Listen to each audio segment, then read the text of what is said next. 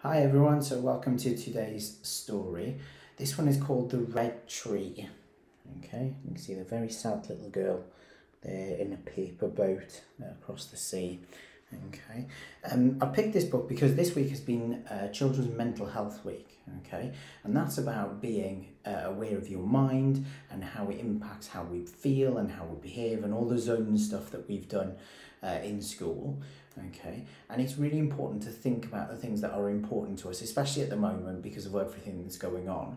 Okay, and this story's got a really, really important message. Okay, let's have a read. It's very short. Let's have a quick read. Sometimes the day begins with nothing to look forward to. So the little girl getting up, she's got nothing to look forward to. And things go from bad to worse. So those things have kind of taken over her bedroom looking very dark.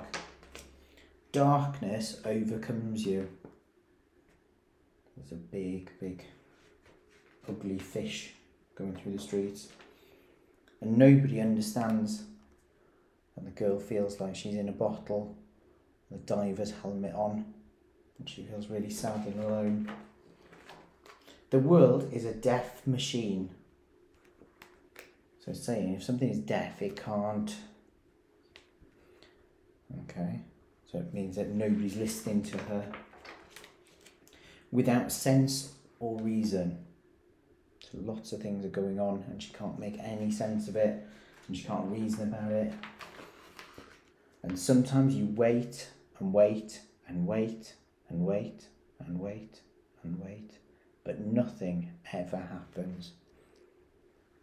Are you waiting for something? What are you waiting for? Then all your troubles come at once. So all the troubles happen all at the same time.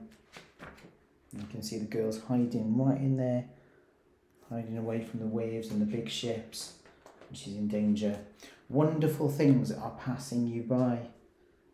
So she's looking out the window and she can see the wonderful things, the blue skies and the what looks to be like a, a party or a celebration with the butterflies going on and she's just looking out her window staring at it.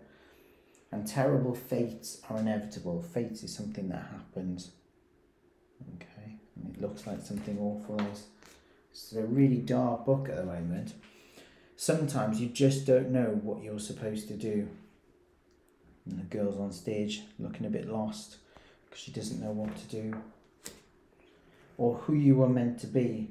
She started drawing a picture, very similar to what we talked about yesterday with Slug Needs a Hug. She's thinking about what she's meant to be or where you are. She's got no idea where she is. And the day seems to end the way it began.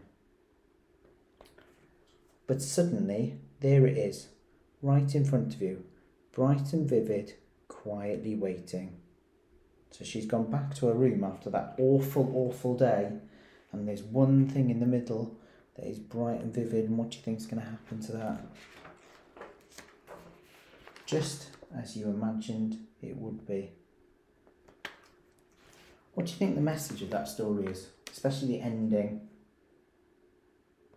For me, I think that story is all about hope and all about all the things that you know we can be hopeful for in the future because it doesn't matter how bad it gets and how all the awful things that are going on there's always something that we can look forward to. There's always something that is going to make it better.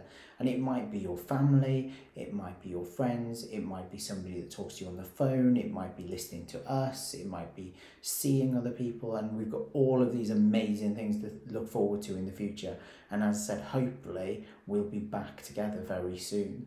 And the other thing is that uh, with this looking at the end of it, it's looking at the beauty that is around us. Our um, our assembly theme this week is to look for things of beauty, to find the love of beauty. What is the things that around you that you think are beautiful? What do you think is beautiful? And what gives you hope? That's it for today, and I'll see you soon for some more stories.